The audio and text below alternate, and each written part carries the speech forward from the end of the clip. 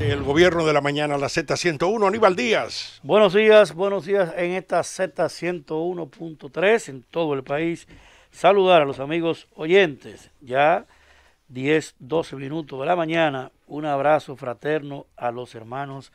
de la diáspora que en el día de hoy cursan pues reuniones en torno al tema electoral y que de seguro tendrá que buscarse cuál es el escenario a través del cual podrán sufragar en Estados Unidos, sobre todo que tenemos una gran cantidad de dominicanas y dominicanos. Quiero en el día de hoy hacerle una reflexión a nuestro querido y apreciado amigo Luis Abinader. Yo creo que con el proceso que está viviendo nuestro país, esta pandemia que ha golpeado fuertemente al mundo y que en nuestro país ya presenta casi 300 muertos, y escucharemos más adelante el boletín de hoy del Ministerio de Salud Pública, y ojalá que no lleguen a los 300 ya hoy, pero ayer teníamos cerca de 300 fallecidos. Tenemos una situación electoral sumamente difícil, una campaña electoral que se ha volcado, que se ha transformado en una política de asistencialismo, de respuesta comunitaria, que ha aflorado las debilidades de nuestra nación. Y en ese sentido, la campaña ha tenido que ir hacia allá. Por eso tenemos al Partido Revolucionario Moderno, nuestro partido, enfrentando las políticas públicas que tiene el Estado, que evidentemente lo colocan en un nivel de combate en el que tiene superioridad frente a lo que podemos hacer los opositores. Y en un entramado como ese, nuestra atención, nuestros esfuerzos, la sinergia político tiene que estar en función de atacar políticamente nuestros adversarios. En el proceso que ha cerrado hace pocos días y semanas, Luis Abinader, que está enfrentando como un titán esta crisis, tiene que observar su entorno, observarlo, ponerle atención a gente que está aprovechando una situación en la que puede pescar en río revuelto,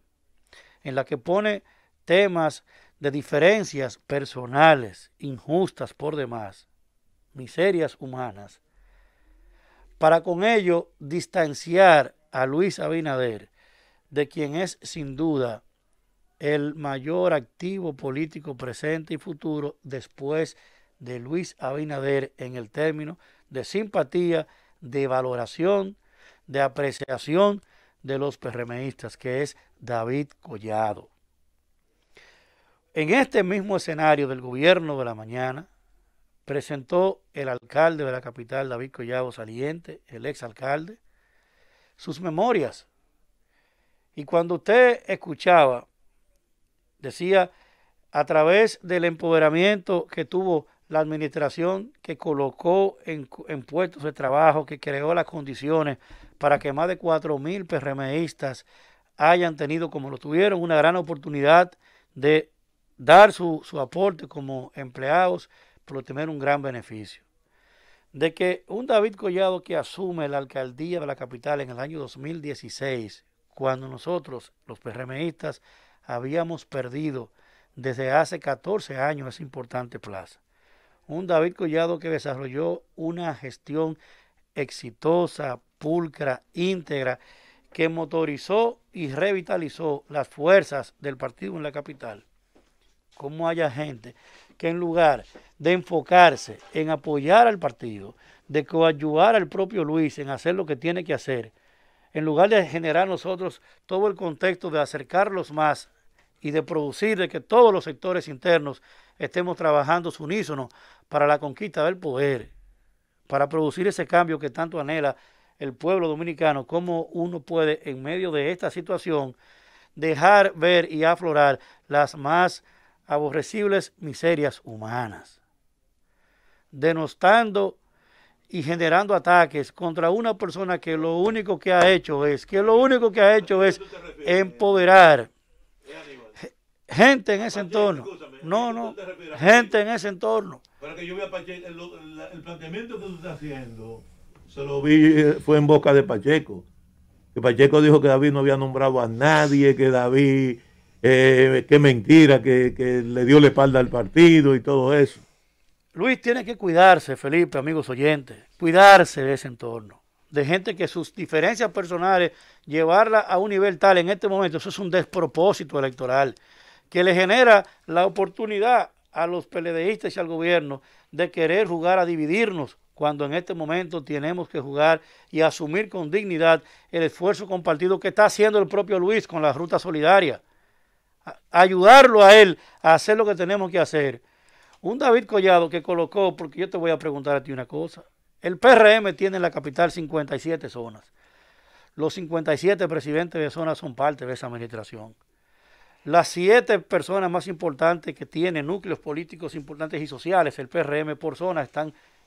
están trabajando y laborando dignamente en esa institución. Una institución que honró y que bien administró, que solo en prestaciones laborales pagó más de 300 millones de pesos, respetando la dignidad de la gente y haciendo las cosas como deben hacerse, que no dio orgullo y satisfacción, por eso la magia del 93% de aceptación, por eso la magia de la alta valoración, una persona honesta, decente, que ha permitido que el PRM en gran medida, en torno a esa gestión, es que ha tenido en gran medida el avar con relación a la valoración de los gobiernos municipales. Un, un, Henry Domínguez, coordinador de la circunscripción número 2. Un Miguel Ramírez en la número 3. Un Guaro en la 1. Todos estos,